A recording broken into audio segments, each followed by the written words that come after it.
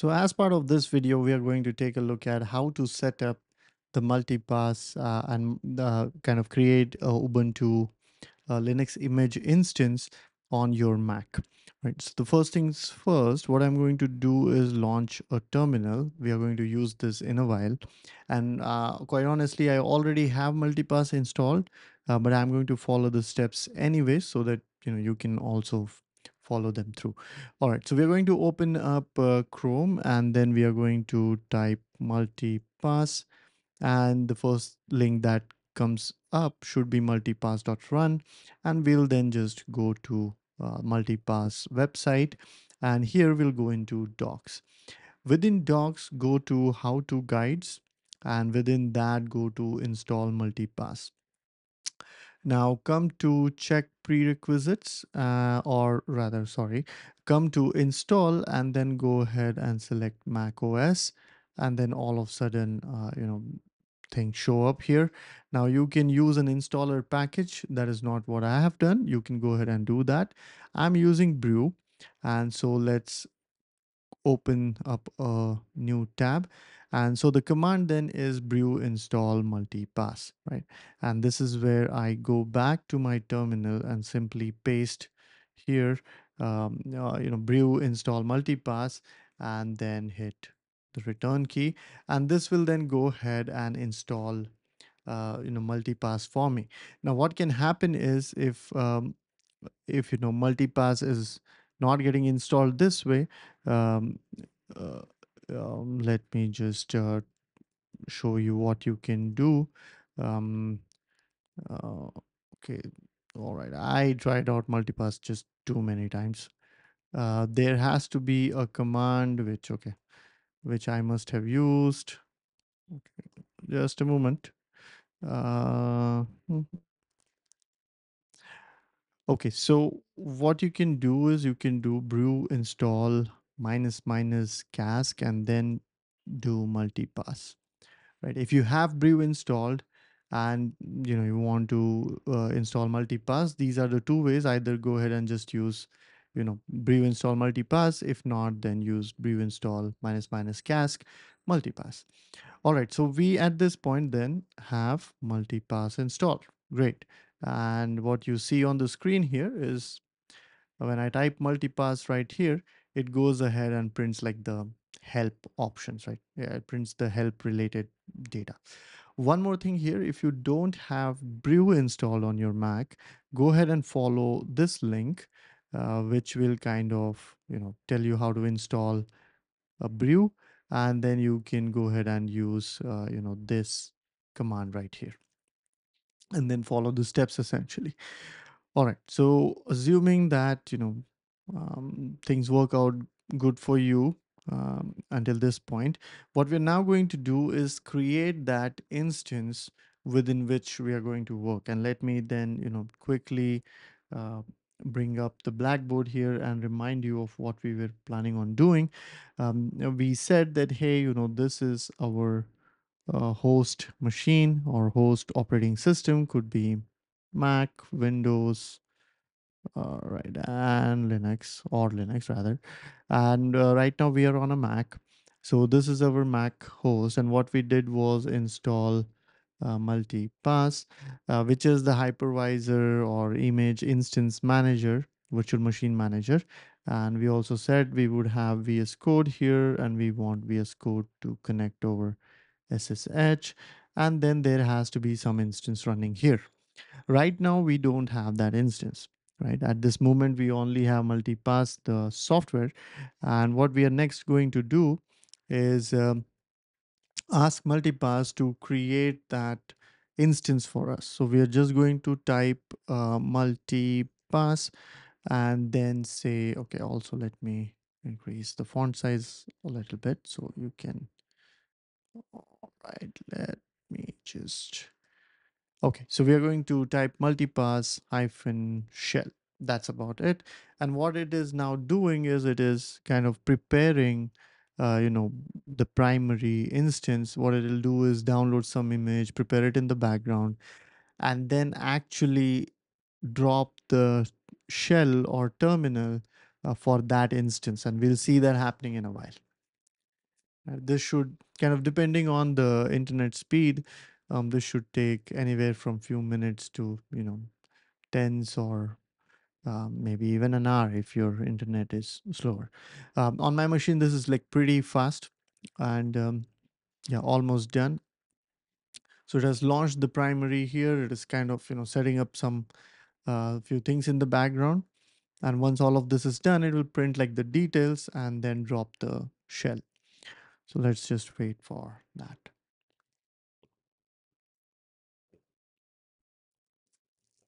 All right, perfect. So if if you see or notice here, it says, "Hey, welcome to Ubuntu 24 dot uh, you know zero 04, blah blah blah, all of the details. This is something of use to us, the IP address, and we'll come to this in a while. Uh, but uh, now what we intend on doing is we are within the multipass um, instance, so to speak, and we are supposed to now uh, execute few more commands just so that VS Code can properly connect with uh, the primary instance. Primary is essentially name of this machine, right? And so primary instance, we want VS Code to connect to it. So I'll go ahead and modify few files. So let me copy the command and paste it here. So this command right here, the sudo space vim space slash etc slash ssh slash sshd underscore config, uh, we are going to edit this file slash etc so on and so forth, right? And we are wanting to edit this file just so that we can enable password based uh, login into this system. You know, all of this will make sense in a minute. So I'm within that file now. I'm going to type colon set space and u and hit the return key. Once I do that, you can see the line numbers are enabled and we are going to go now to line number 62, right? Uh, line number 62 is this. So this is for keyboard based interactions, right? Interactive, interactive authentication. Now I want to go ahead and edit this no right here, this thing right here, this no to a yes. And to do so, to, to edit a line, what we are going to do is first come to that line, come to that point. So I need to come to, you know, uh, no, uh, the N, and then hit the I key. And as you hit the I key, you'll see that, you know, Vim, the editor goes into something called the insert mode. Then I will go to the end of no, delete it, type yes, and after that hit the escape key. Once I hit escape key, uh, Vim comes out of the edit or insert mode and it's now in like the command mode. What I'll do now is type colon WQ and hit the return key and it writes the updates to the file, right?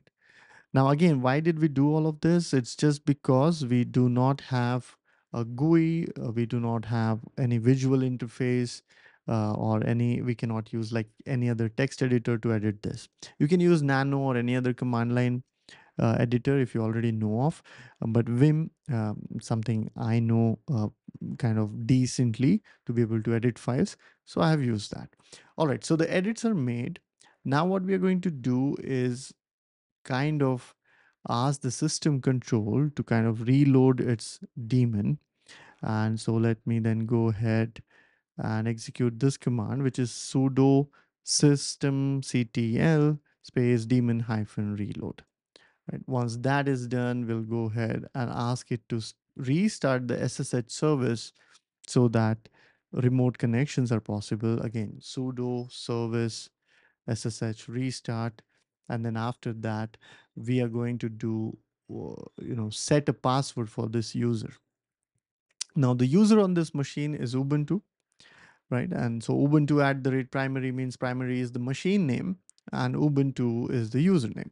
So we are now going to uh, kind of uh, type this command sudo passwd ubuntu and or ubuntu. And that essentially is like hey set a password for ubuntu. In my case i'll just set the password to lowercase p. And whatever you set the password uh, uh, just you know be sure to note it down. And that's the password you have to use going forward anytime we want to log in into this machine right log in or execute the sudo uh, command all right so we are good now we have prepared our instance to be able to be, uh, you know, connected uh, through SSH. So now I'm going to go ahead and pull up VS Code. And, uh, you know, if you have VS Code, then once you open VS Code, go to the extensions. And then from there, if you don't already have it installed, type remote and install this remote development. Uh, let me just pull up the marker here. So install this remote uh, development um, uh, extension, right? I kind of have parts of it installed. So let me, you know, go ahead and install that. Um, once you install this, this icon should kind of become visible, right? In my case, I had few parts of, you know, this package already present. Um, so that's why I already had this, but you should, if not already, if you don't have the remote extension already installed, you will see this as a new icon, right? And once you see this, click on that. And, you know, I already have some SSH related things here. Go back to our terminal, type uh, if conf, oh, sorry, not that, type host name hyphen uppercase I. And the moment you do that, you'll see that the IP address is printed here, which is 192.168.64.12. Copy that. Right. Come back to VS Code. Go to this SSH related, you know, drop down uh, right here. And if you don't see this drop down, be sure to select remote, you know, tunnels and SSH here, right? In the remote explorer, select remotes and uh, tunnel slash SSH. And then within the SSH drop down here, uh, you know, click on this plus button. And once you click on the plus button, like a, uh, you know, user input panel uh, uh, pops up. And in that, you write Ubuntu at the rate and paste the IP address, right? So we are saying, hey, log into this machine 192.168.64.12 as Ubuntu the user, right? And we hit return key. And once you hit the return key, it'll ask you like where to save this config, you know, just hit the return key again. And we have added uh, details of the remote machine. Now we should have seen it here. We don't, so not not a you know thing to worry about. Go ahead and click this refresh button, and the moment you click this, you'll see that the IP address is visible here. Now what I want to do is uh, ask VS Code to connect to this instance, right? So let me to show you the magic now. Let me just okay. Let me just take VS Code on the left side and our uh, machine, the primary instance on the right side. Okay, so I'm going to go to this option here, 192, you know, 168.64.12 and click this arrow button, which says, you know, I would like the current window of VS Code to attempt a connection, um, a remote connection to my instance. And uh, let me go ahead and do that. Now, what I'll also get myself out of the way. It's saying, hey, you know, do you want to continue? I'm saying yes. Then it asks me for the password, and this is the password that we set. I'm going to type P because that was the password I set. Uh, you can set some other password, but use that password here. Now at the bottom here, you'll notice that it says, hey, SSH colon 192.168.64.12. And if that has happened, then it confirms that the connection is established right? Now we're going to do some experiments to prove our point that, you know, whatever edits we make in VS Code are actually happening within our um, virtual instance or virtual machine here. So let me go ahead and execute ls and then let me type uh, kind of, you know, mkdir ldd. So we are creating a directory uh, which is LDD and within that we will work. So let's go into LDD, CD into that and we see there is nothing here. Perfect. Now we come back to the VS Code and say open folder, right? And when we say open folder, you'll notice that LDD is available here. So this is a hint that we are actually looking inside the file system of the instance that we have created, the primary instance or the instance by the name primary. So click on LDD here and click OK. What we will notice now is right here. It's saying it's on LDD directory within, and it's on SSH on 192.68.64.12. All right, we'll go ahead and now click this new file button and call this file test. Right, and we'll go ahead and write hello world uh, into the test file.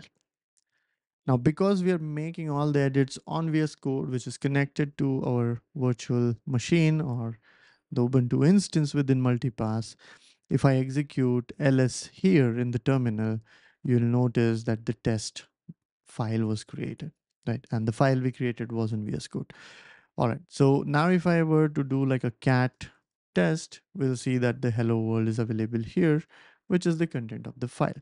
So let's just quickly revise as to what happened here. So we had, you know, primary, uh, and primary was a virtual machine that multipass created. And within this, we created the LDD directory, right? And uh, we also said that VS Code was over SSH uh, connected to this machine, right? And so what we then asked is uh, opened LDD in VS Code and then added this file test and the content of which was uh, hello world uh, right and so this hello world and this test file all of a sudden appeared here because of this ssh tunnel or connection and then within that we saw that you know hello world is available. So what we are going to do uh, is you know hide this window going forward and only work within the vs code environment and also connect or kind of create a terminal uh, you know that is same as the terminal in our virtual machine. And so this way vs code becomes that nice isolated environment wherein we can develop our code and try out our experiments. So um, in the videos uh, following this we'll explore you know which part of driver is what what files to write uh, what part means which and so on and so forth